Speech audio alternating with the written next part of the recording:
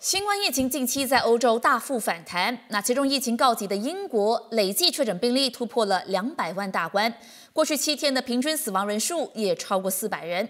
作为第一个启动大规模疫苗接种的西方国家，那正当大家以为能够从疫情当中喘口气的时候，英国近期却出现传播速度更快的新变种病毒株。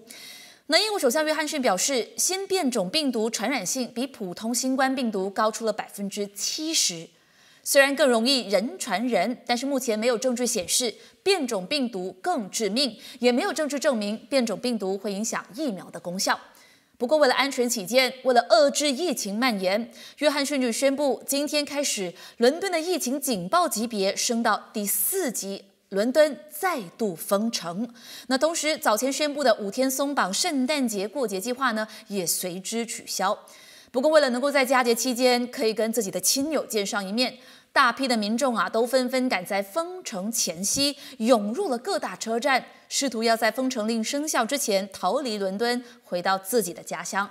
那这不禁让人担心，病毒很可能随着返乡人潮进一步扩散到其他城市。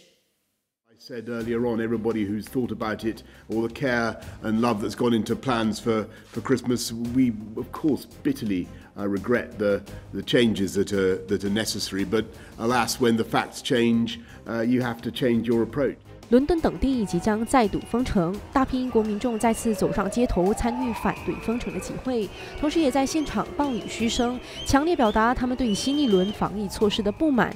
虽然伦敦警方加强警力维持秩序，但是示威最终还是演变成了警民冲突。警方后来一共逮捕了二十七人协助调查。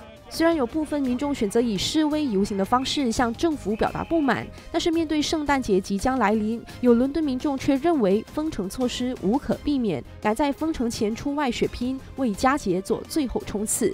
Kind of upset about it, but what can we do? Just have to hope for the best and go by the rule. The number of cases are going up, so I guess it's needed. It's not it's not great for business. It's not good news for people. Uh, I guess there's no way to avoid it.